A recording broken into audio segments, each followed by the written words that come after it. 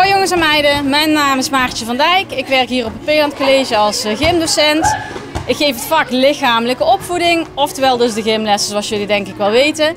Nou, het sport en bewegen is natuurlijk ontzettend belangrijk, vooral in deze tijd. we zitten te veel stil, dus eh, we willen jullie dus heel graag laten zien wat wij zoal doen in de gymlessen.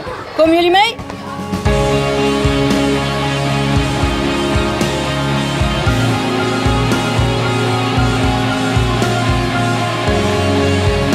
Gymles doen we allemaal balspellen.